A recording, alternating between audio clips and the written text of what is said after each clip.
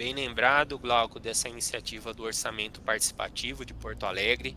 Com certeza é uma iniciativa que pode ajudar bastante nesse processo de reconstrução e recuperação, e, de certo modo, ela também precisa estar associada a em que medida os nossos processos de reconstrução e recuperação não vão reproduzir as mesmas condições de insustentabilidade que levaram a esse desastre.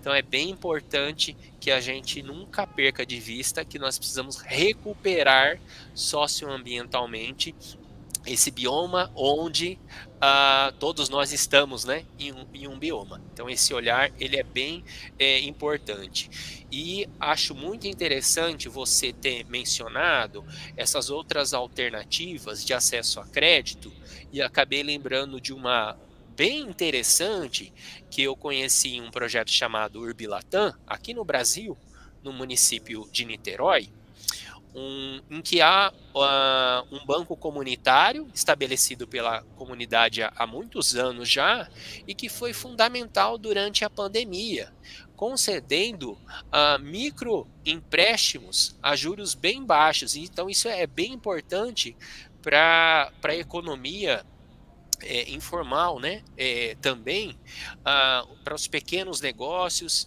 Então, e ali eles também têm uma moeda social. Então, alternativas assim bem importantes. E, e, e eu lembro que essa iniciativa ela se inspirou de um município ali do lado de Niterói chamado Maricá, que ah, tem uma moeda, se não me engano, ah, agora me fugiu o nome, mas que é uma experiência de muito sucesso utilizando a moeda social.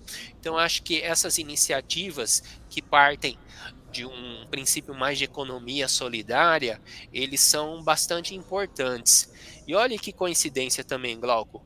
Eu me lembro que uh, um livro chamado O Banqueiro dos Pobres, é, e que uh, foi justamente de um autor que agora me fugiu o nome, mas é, de ban... o Mohamed Yunus. Né? É, o Mohamed Yunus e da, a partir da realidade de desastres vivenciados em Bangladesh, que é um dos países mais é, suscetíveis né, a desastres e, e, também conjuga né, com pobreza também.